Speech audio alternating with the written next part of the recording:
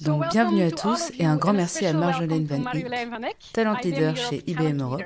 Chez IBM et dans le monde, les badges sont de plus en plus scrutés et utilisés. IBM vient d'attribuer son millionième badge.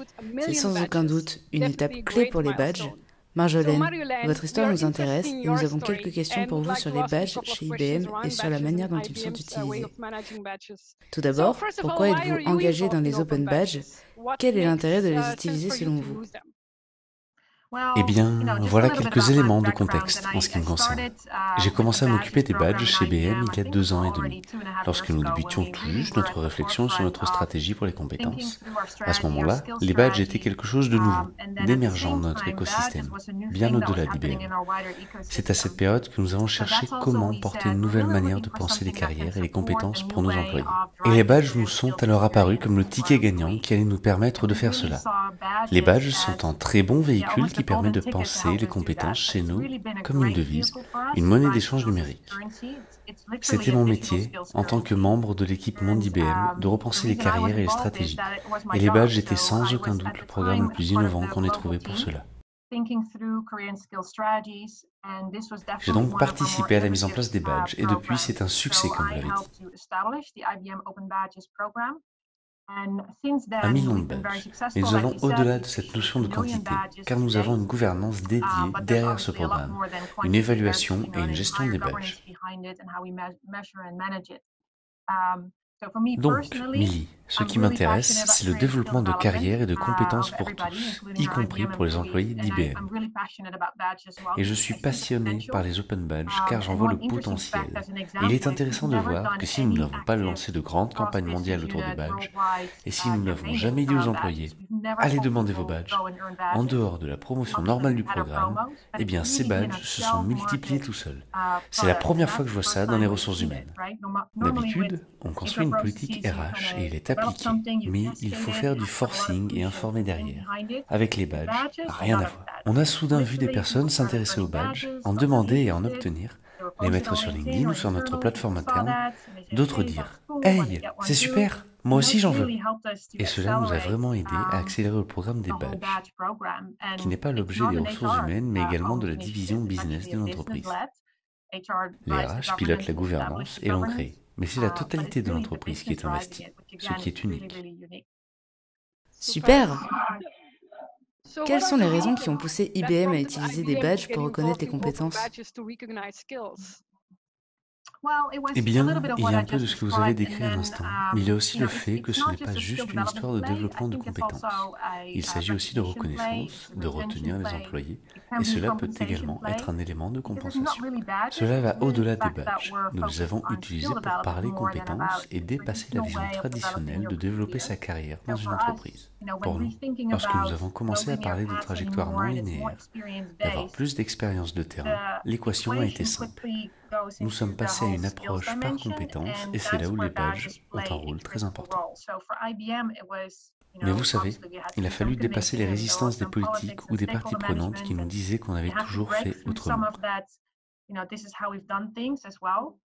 Mais nous avons réussi à mélanger le management traditionnel des carrières et le management du futur celui des compétences et des carrières. Ces deux mondes se sont rencontrés pour donner à IBM un projet de grande valeur. Et en parlant de valeur, nous avons réussi à également acquérir des compétences sur les badges numériques. Donc c'est rentable pour nous. Il y a quand même des gens qui continuent à regarder cela avec circonspection. Mais ce n'est pas grave. Il faut de tout pour faire un monde. Oui, je suis d'accord. Quel type de badges sont disponibles chez IBM Pouvez-vous nous donner des exemples? Quels sont les badges que peuvent demander les employés? eh bien, c'est là la grande différence avec les méthodes traditionnelles de développement des compétences, dans laquelle vous avez une matrice très linéaire, avec des compétences, les niveaux, la définition de ce que l'on entend par là. Donc, quand les gens parlent des badges, ils essaient quelquefois de les faire entrer dans ce monde traditionnel. Mais les badges ne sont pas pensés dans ce contexte, ce qui peut les décontenancer. Donc, en ce qui nous concerne, um, nous avons choisi de structurer les choses, principalement en amont, quand nous définissions les types de badges et les critères pour chacun des badges. En aval, nous mesurons le succès des badges, nous pilotons l'impact. Du coup, cela nous a mené quelquefois à supprimer certains badges. Um, nous avons voulu garder tout cela très agile. Certains d'entre vous nous ont aussi peut-être vu présenter nos badges ailleurs et ont vu que nous avons une conception intégrée de tous les badges et avons une vision globale des badges chez IBM. Nous avons conçu des badges de connaissances, de compétences, d'aptitudes et de certification. On pourrait penser que cela représente des niveaux de compétences, mais ça n'est pas notre conception. Un badge de connaissance, c'est pour quelqu'un qui a un certain niveau de connaissance à propos d'un produit spécifique ou d'un service, qui peut l'appliquer dans la pratique. C'est proche d'un niveau basique, mais cela peut s'appliquer sur des connaissances très larges ou sur un domaine plus limité. Le badge compétence est plutôt utilisé pour une capacité qui a été démontrée, une compétence mise en œuvre. C'est un peu plus large que les connaissances, mais cela représente un vivier énorme de compétences. Du coup, impossible de comparer un badge à un autre, car il relève de critères différents, de situations différentes et d'évaluations différentes. En effet, il y a toujours une évaluation. On ne donnerait pas un badge de 40 heures de formation sans un test à la fin. Les badges les plus rigoureux sont les badges de certification.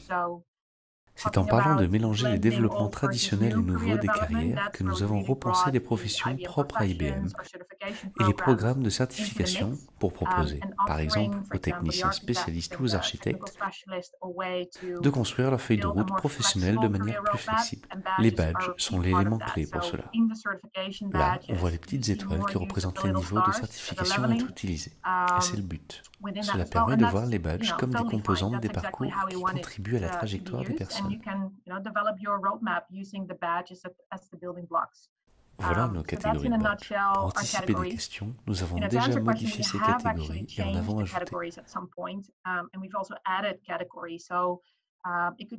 Cela sera peut-être à nouveau le cas, mais pour l'instant, elles correspondent à la demande des employés.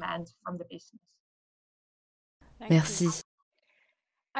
J'ai compris que vous utilisiez les badges également dans le contexte de la politique de diversité et d'inclusion d'IBM. Comment les badges soutiennent-ils votre stratégie eh bien, nous n'avons pas vraiment de badges qui um, soutiennent notre stratégie en tant que telle, mais plutôt qui nous aident à rendre cette stratégie possible. Nous utilisons pour cela des badges alliés de la um, diversité. Nous avons chez IBM un programme d'alliés. Il préexiste au badge comme tous les programmes dans lesquels nous avons ajouté des badges pour mieux les structurer leur donner plus de flexibilité et de rigueur et de la reconnaissance en fin de compte. Ce sont de bons exemples de comment apporter de la reconnaissance mais donner des badges est également un moteur premier du changement dans une organisation. En ce qui concerne le programme des alliés, il fonctionnait très bien sans les badges, mais sans la valeur ajoutée. Les um, alliés, au fait, sont des personnes en entreprise qui sont des porte-parole de la diversité et l'inclusion, en interne à IBM et à l'extérieur. Ce sont des sortes d'ambassadeurs.